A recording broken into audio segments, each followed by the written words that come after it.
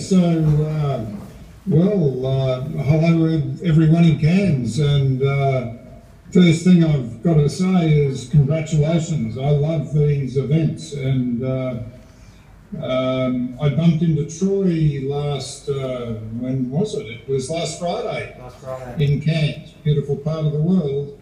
Um, and it's fantastic that you guys are um, um, getting into this up there. So, a couple of thoughts that um, I hope are uh, helpful. Um, the first thing I'd say is that um, ideas and entrepreneurial energy aren't defined by geography. Um, the fact that uh, you guys in that part of the world are uh, out there doing it is really uh, the main thing. It's it's uh, so important. Um, I talk to lots of people in different parts of the world who are doing the kind of things that you guys are trying to do, and everyone's got a chip on their shoulder to a certain uh, extent. So I imagine some of uh, you guys up there would be thinking, oh, well, if only I was in Brisbane or maybe the Gold Coast, um, because that's the hotbed of innovation within, uh, you know, two hour flight. Um, then I talk to people in Brisbane who say, well, if only I was in Sydney or Melbourne.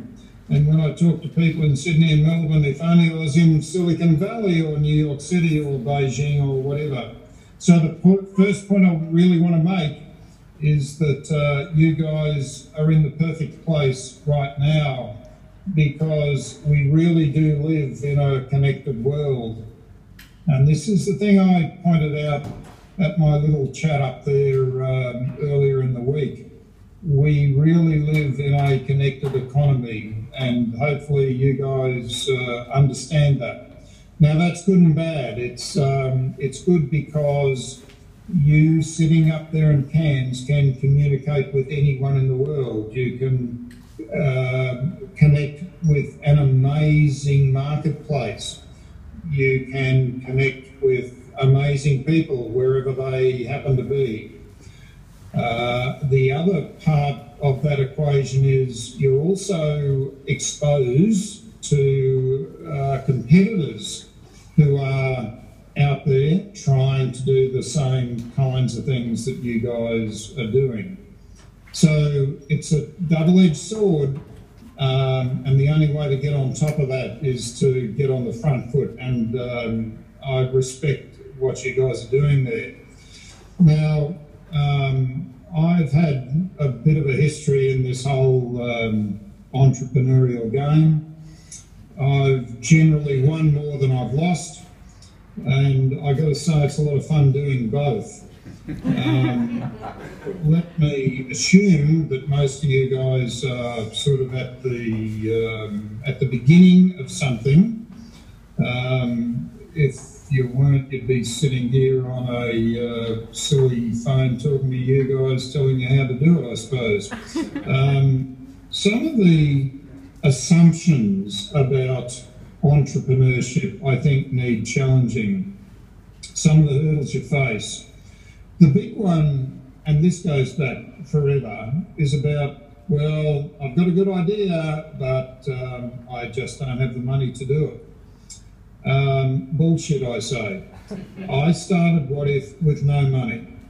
Um, knowing that um, and begging a little bit off a few people, uh, I developed a business model that really didn't need the money. So the accepted wisdom in this game is um, you fall into the arms of venture capitalists, and um, with all due respect to all the VCs hanging around there tonight, um, there are always different ways to find the money. And what I find, what I've found throughout my whole career is that if you've got a good idea, uh, first you attract the energy of people who can help you uh, in all sorts of ways. And uh, if it is a really good idea, then the money just kind of turns up on your doorstep. So don't, uh, my first bit of advice is don't assume that you have to get in a queue on your knees, bended down, uh, groveling for money. Find a way to do it without doing that, and you'll be a much happier person. Not only that, you'll end up with a bigger slice of the business.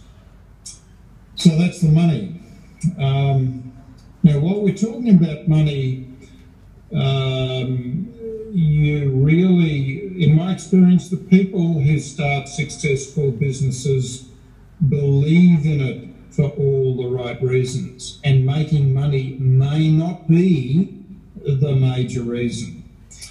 Um, the longer I go on, on in life, the more I find myself wanting to give back. Um, there are many fine things we can do in this life, and uh, I find being entrepreneurial in a social sense is more rewarding in a lot of way than just making the bucks. Of course, you need a bit behind you to do these things, but not necessarily.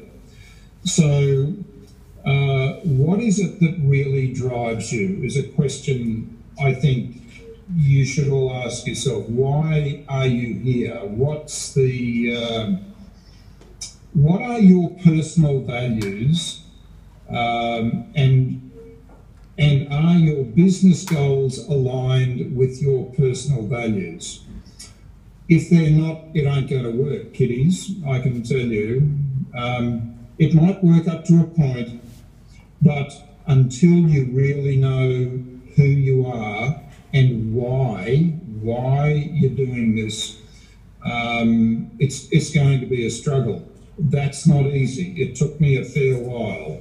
Uh, now, when I started Wotif, I've started lots of businesses, but of course, Wotif is the one that everyone wants to talk about. Uh, that was about making money on the surface. But there was also um, a realization that uh, Wotif made better uses of existing resources. So instead of building a whole new hotel, uh, let's make better use of the resources that are already there. It was exploiting, um, it was exploiting, well, you understand, hopefully you've all booked through Wotif, if you're not, you can go home now. Um, but um, it was taking in, hotel inventory that was going to waste it's like um, selling mullet off the beach before they go sour. There's an asset there that can be uh, turned into money that's to everyone's value, to the customer and to the hotel owner. And that's not a new concept, it never has been. And lots of people are exploiting that idea in a whole lot of different ways. So um, we live on a planet with finite resources um, we apparently have infinite demand for those resources. So the people who can um, find ways to use those resources more cleverly um, and stop stuffing up the planet uh, are the ones who will be the heroes in five years, 10 years, and 20 years from now. Mm. Uh, the other, the other little point about starting a business is the fear of failure. Um, it looms large in the minds of a lot of people. Um, I don't see failure as a problem. I see it as a learning experience. The, the main point here is don't make any really big stuff ups because that gets you into trouble. You lose a lot of money, it pisses off your wife, you know, you've got to sell your house and all that sort of stuff. Makes as, make as many little mistakes as you can and learn from every one of them. And this is part of the business model. Um, this is the way I think the world is evolving. The next point is um, collaborate. Now, it's very difficult when you come up with a business idea, who do you talk to about it? Who do you trust? And there are lots of people you can't trust. But um, increasingly, um, I find it's much easier to toss the idea out there, and even if uh, I can't exploit it, somebody else will. So it's a bit of a leap of faith, but uh, tying stuff down with lawyers and contracts um, is very uh, time consuming and expensive. So my view is uh, be open, be open, invite, uh, give your ideas away, be generous with your ideas, share them, um, and you will find other people sharing ideas with you. And that was contracting, doing a bit of uh, software development for a few people, and I stumbled into a guy who happened to be a uh, he ran a hotel. It was um, it's actually the, uh, resort that Clive Palmer currently owns. There you go. Um, the Hyatt at um, uh, wherever it is, up the north coast of the Sunshine Coast. So this guy told me that he had a problem, that um, he wanted me to devise some kind of algorithm to uh, predict the best price to um, sell his rooms at uh, because he, he believed there was um, su- the supply and demand situation said um, if he if a I'm not explaining this very well. If if a uh, tour group didn't turn up and he had a whole lot of empty rooms, what price should he should he put those out to the marketplace at? Now his problem was putting them out to the marketplace meant uh, sending out faxes to travel agents and then they'd put them in a brochure, etc., etc. So there was this time lag, a week almost.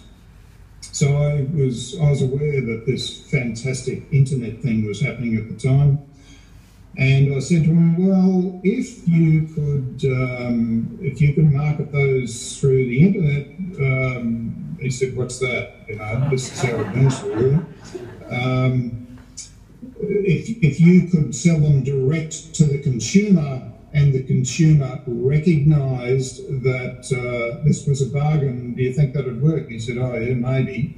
Anyway, I drove away from that meeting fired up because I could see here was a marketplace that wasn't working efficiently.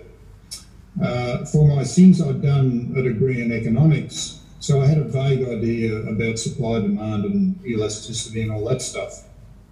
Um, so I immediately started thinking about uh, creating a new marketplace uh, for distressed hotel inventory. That's the way I saw it. So rooms going unsold are no use to anyone, no use to the hotel owner, no use to the consumer who could have got it at half price.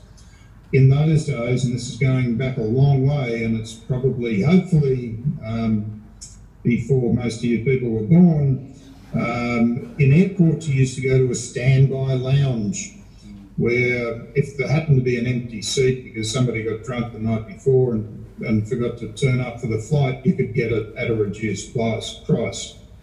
Now, airlines had um, got into the whole idea of yield management way before the hotel industry. Um, that probably came because um, airline, the margin in airlines was tighter, and um, in the US at least, the chains dominated um, the hotel industry. There wasn't much impetus for change. They kind of uh, ran the industry. So I uh, thought this is worth a shot, so I knocked up a prototype of what I thought might work and went out and started flogging it to uh, independent hotel operators in Sydney, in Australia. Well, I had to go to Sydney. I was living in Brisbane at the time. I had no money. Um, I took the idea to my accountant. Sorry, I went to my accountant to um, uh, put in a tax return because I needed the money desperately to live on. And I blurted out this idea, and he said, Oh, that could be interesting. Um, I'll, let's have a look at it. So that was Andrew Bryce, who, who um, turned out to be one of the funders who put their money in, and he's now a multi multi millionaire, and he's a happy guy. Um, so um, that's how it started. It was the recognition of a marketplace that wasn't working very well. Uh, it was cutting across all of the norms of that industry at the time, um, and it was a true disruptive uh, idea. So uh, disruption is good. I said at the talk the other day, um, even even though I don't need to do it, I love the idea of disrupting industries, organisations that have become fat, dumb, and happy. Um, and that reflects the real world, I think. That um, even if you guys sitting there in Cairns don't understand that, somebody sitting in India or Uzbekistan or anyone has access to so much data about how the world works, about how business works, somebody will find it. So um, the pace at which these things is happening is ramping up. So there's no luxury of time. If you've got an idea, man, go do it. Do it quickly. Either prove it or, and if it doesn't work, move on. If you don't do it, somebody else will. The, the number of gaps we've got Uh, diminishing. Awesome.